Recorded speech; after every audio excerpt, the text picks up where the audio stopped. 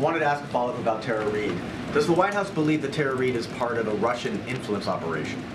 I, I've seen no uh, evidence or, or, or proof of that.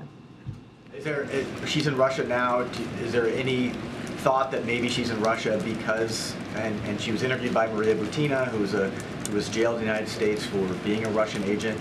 Is there any concern or thought that she may have been uh, influenced by, by the Russian government? Again, I would let this prospective Russian citizen speak for her intentions and motivations. I mean, look, we, we, it's a matter of record that, uh, that Mr. Putin and the uh, Russian government uh, ha- have tried to interfere, and actually did interfere in our elections uh, going back as far as 2016.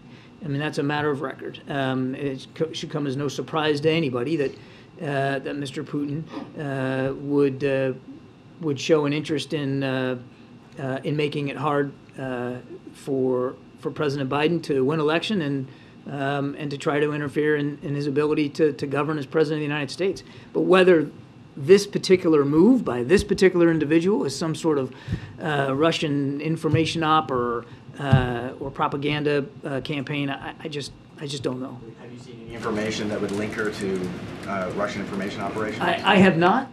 I have not. Go ahead, Josh, we'll- we'll keep going.